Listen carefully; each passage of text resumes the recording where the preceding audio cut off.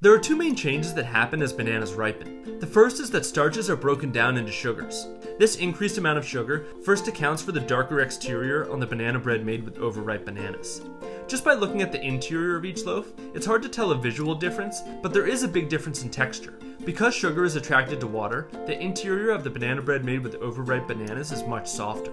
By tasting a piece from each, the second change is obvious. As bananas ripen, there are more compounds that contribute to a stronger smell and flavor. So, for the softest banana bread with the most banana flavor, use overripe bananas.